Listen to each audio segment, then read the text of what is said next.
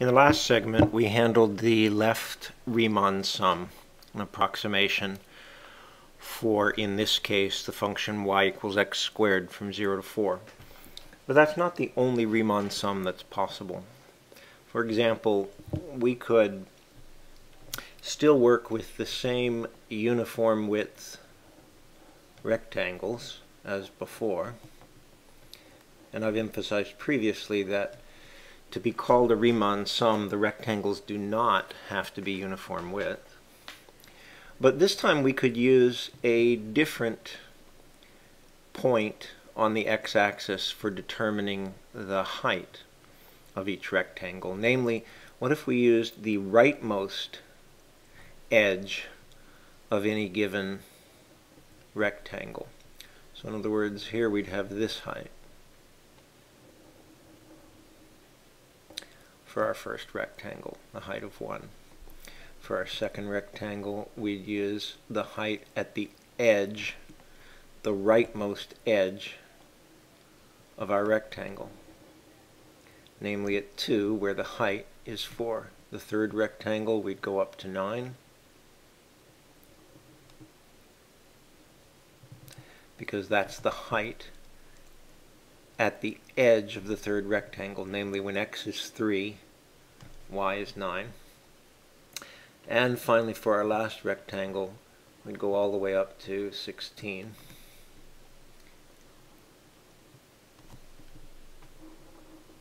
Okay. We're going to call this, unsurprisingly, a right Riemann sum.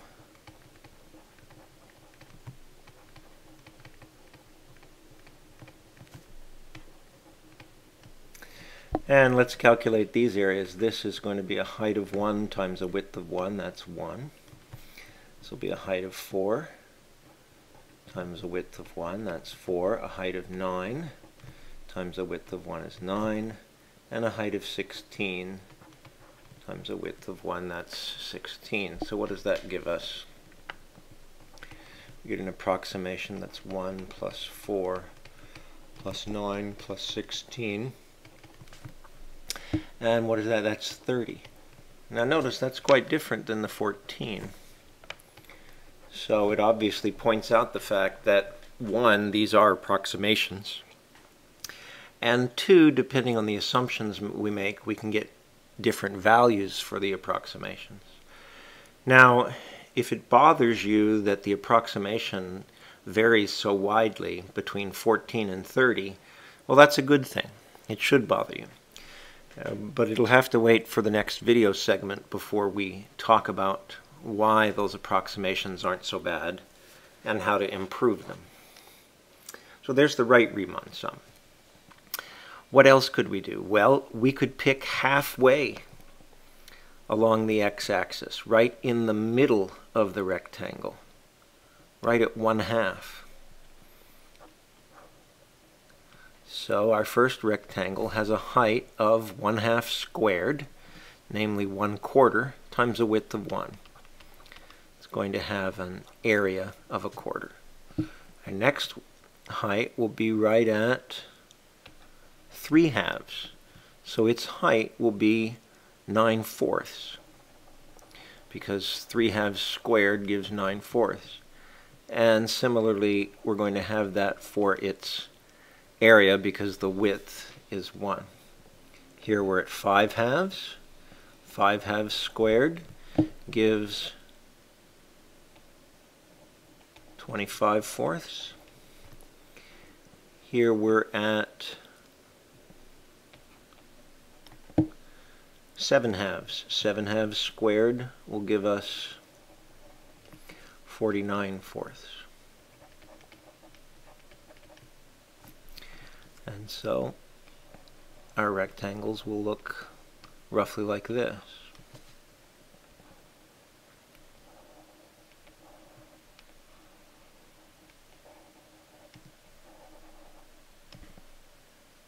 Okay. Now if we add these up, let's see what we would get. 49 plus 1 is 50.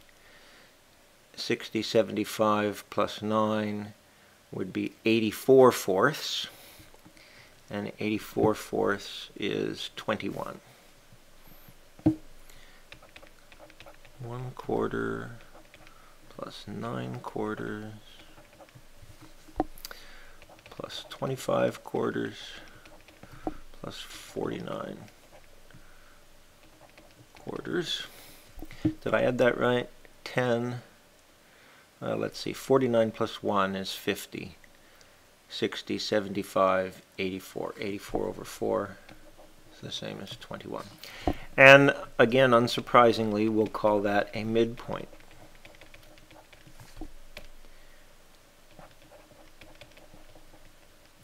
Riemann sum. Now, another thing we could do, if you notice these rectangles, they seem to either really underestimate the uh, value because there's a whole wedge here that's missing from our estimate, or overestimate the value. So one possibility is that we don't make rectangles at all, but instead trapezoids. We learned the area of a trapezoid. And so we could build four little trapezoids like this.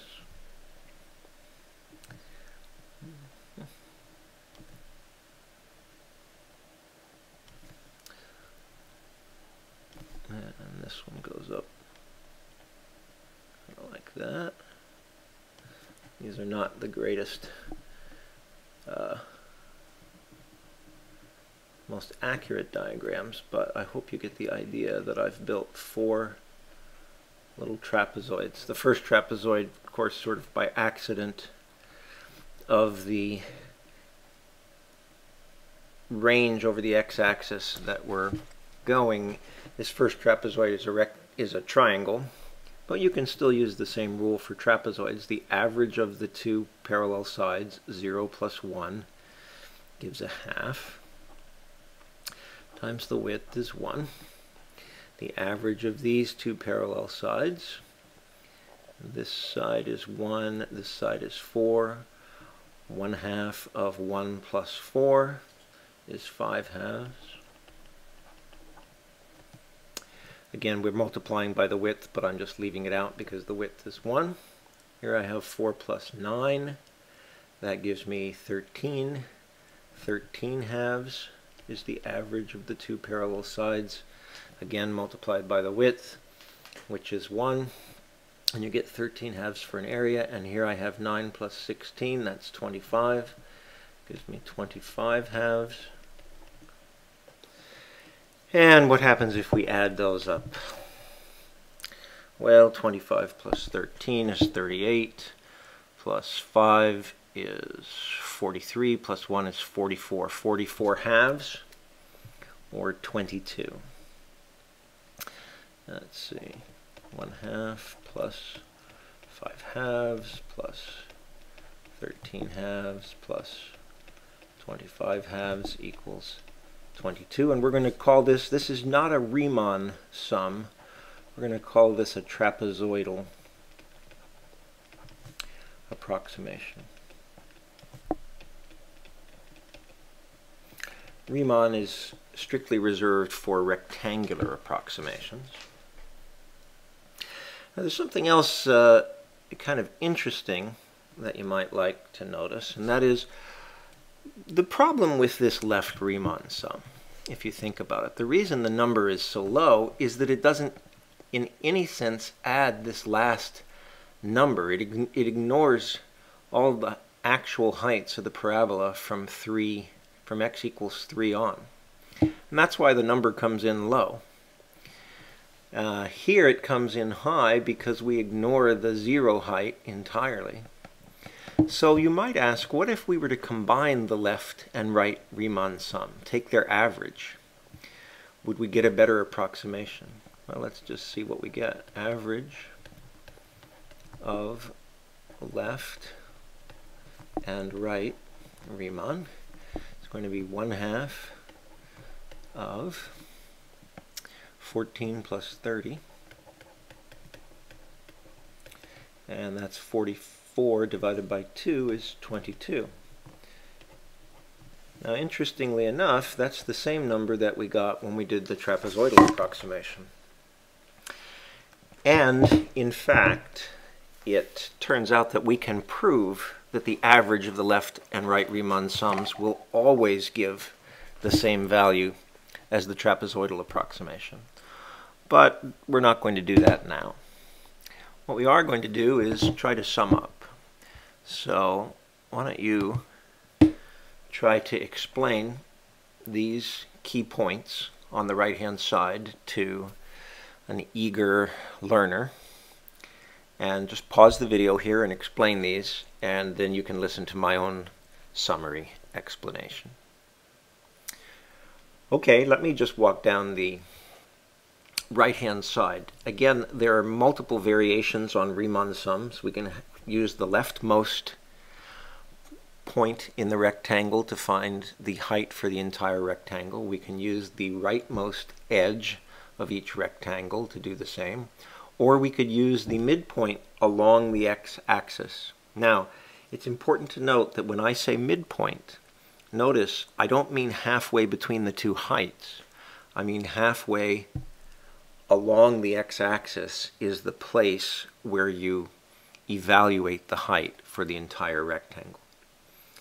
Similarly, we also can do a trapezoidal approximation. And I note for, I think, the third time in this set of videos that the rectangles and trapezoids do not have to be the same width, something you'll encounter frequently as we go forward in calculus. And finally, just something interesting is the fact that if you average the left and right Riemann sum for a given calculation, you'll get the same value as the trapezoidal approximation. We haven't proved it, but you're welcome to do that yourself, or later on, uh, perhaps in this course, we will prove the equivalence of those two.